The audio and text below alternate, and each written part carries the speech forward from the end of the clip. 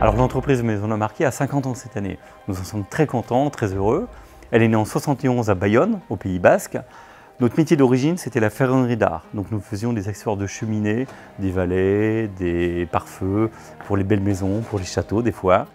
À partir de 86, nous avons inventé notre premier barbecue à cuisson verticale, puis notre première plancha. En 2013, nous avons été certifiés Origine France Garantie pour la première fois, le seul label qui garantit l'origine française des produits.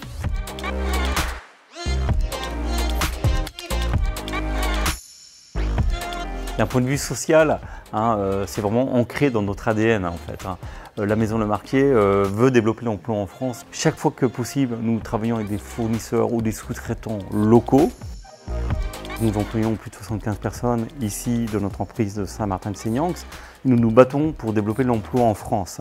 Nous nous battons contre des produits de grand import en général et nous faisons tout pour travailler avec des partenaires français chaque fois que c'est possible. Alors la maison de Marquis est très engagée au niveau environnemental. Alors dans un premier temps, ça passe par le développement et la production de nos produits, sur lesquels nous faisons très attention au respect de l'environnement, à travers la méthode de production ou à travers nos packaging par exemple.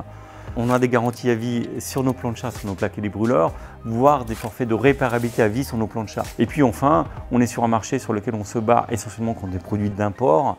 Nous sourçons localement nos produits de manière à être le plus près possible de nos sites de production de nos consommateurs.